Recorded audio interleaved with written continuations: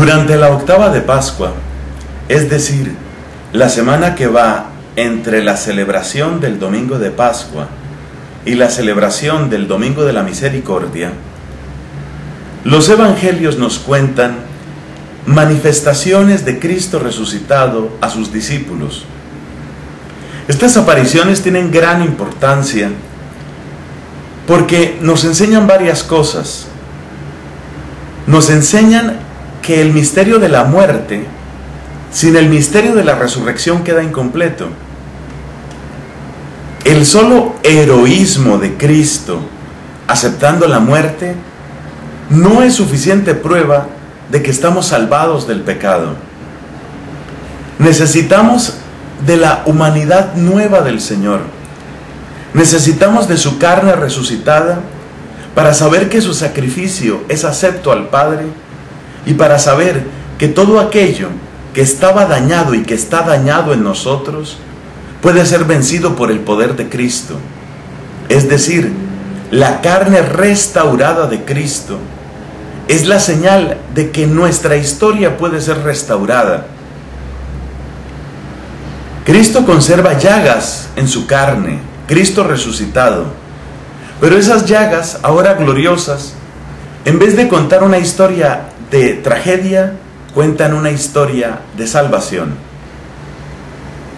Y por eso estas apariciones nos están enseñando cómo nuestra fe en la redención tiene tanta firmeza y tanta realidad como la realidad de esa carne que padeció en la cruz.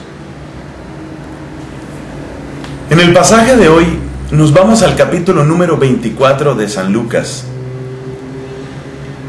Es uno de los textos más amados, creo yo, en nuestro tiempo, cuando se habla del resucitado.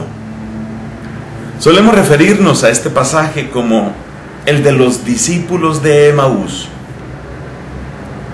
Porque dos de los discípulos de Cristo, no necesariamente apóstoles, no eran apóstoles de hecho, pero sí discípulos cercanos a Él, Iban caminando con el corazón desesperanzado y con la tristeza en el rostro, alejándose de Jerusalén, de camino hacia una aldea llamada Emaús. Por eso los llamamos así, discípulos de Emaús. Y Cristo se encuentra con ellos, como dice hermosamente una canción, Cristo se hace el encontradizo, sale a nuestro paso, quiere aliviar nuestra incredulidad, quiere fortalecer nuestra esperanza. Cristo sale al encuentro de estos hombres y se pone a conversar con ellos. Poco a poco va reanimando su esperanza en la misma medida en que va iluminando sus mentes. Y es esta combinación la que yo quisiera destacar. Luego el pasaje cuenta cómo se detienen en Emaús y luego reconocen a Cristo al partir el pan. Pero en esta oportunidad quiero destacar cómo la palabra de Cristo va encendiendo la esperanza y la palabra de Cristo va educando en la fe y la palabra de Cristo va dando testimonio de la necesidad de la cruz. Porque ese es el tema finalmente de la, de la conversación entre Cristo y estos hombres. La necesidad de la cruz. ¿No era necesario, pregunta Cristo, que el Mesías pasara por esto y padeciera? Es decir, que ese camino de la cruz no es simplemente una obra del demonio o una obra de los enemigos de Cristo o una falencia de los amigos de Cristo o un resultado del azar, como algunos quieren enseñar, que simplemente a Jesús las cosas le salieron mal. No.